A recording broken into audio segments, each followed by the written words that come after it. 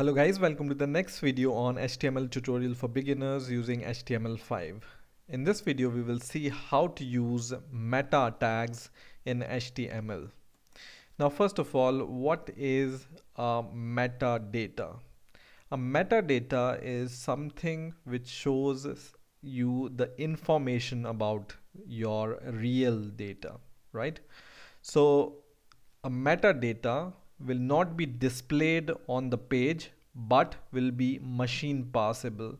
So for example some search engine wants to uh, your web page. They will look at your metadata and pass your web page and even index your web page on their search result on the basis of metadata. There are variety of parameters on which uh, this search result depends and metadata is one of them. Okay? Now what can be a metadata? A metadata can be a description or a keyword or you can add the author of this document or you can add when this document was modified or other metadata which I'm going to show you. Now how you add this metadata. So generally you add this metadata using meta tag inside your head. So go inside your head and just write meta and we have two or three attributes for our meta tag. One is name and name is the name of the attribute we are going to add. The second one is the content and content will be the value of the attribute which is related to this uh, name okay so for example, we want to add the description. We just add description attribute name. Now, for example, I want to make this page for HTML tutorials. So this description can be HTML tutorials for beginners or some other description related to the HTML tutorials, right? And in the same way, you can add one more meta tag and this can be the keywords. So here you can add keywords and these keyword uh, are preferred to be related with your web page content. So this is for HTML tutorial for example. So I can add keywords like HTML, HTML5 tutorials, CSS or HTMLX or JavaScript for example. So these can be some uh, example uh, keywords you can add to this page, right? Now the maximum length is not limited for the description or the keyword, but the preferred length for description is about 160 characters because after this Google search or other search engines cuts your description and pass only up to 160 characters of description. In the same way for keywords, you can add uh, around 200 characters of uh, keywords.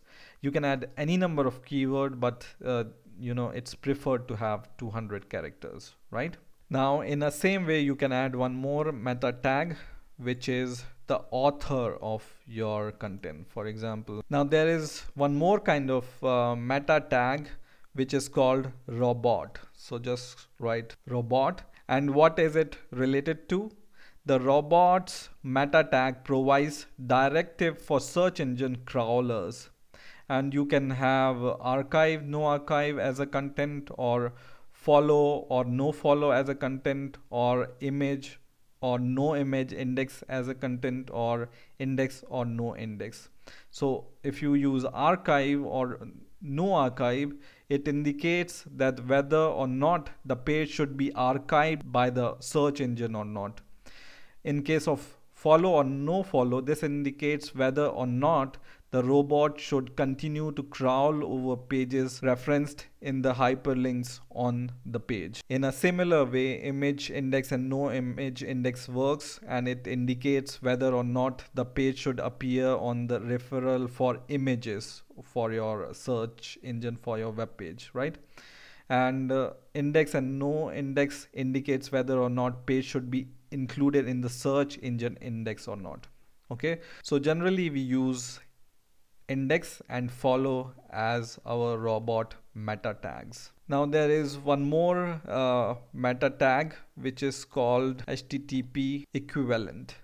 And here if you write refresh and if you uh, set any content for example one second and you save your code and uh, refresh your web page then it will load after every second. Okay? So it will refresh after every second. You can see here it's refreshing. Okay?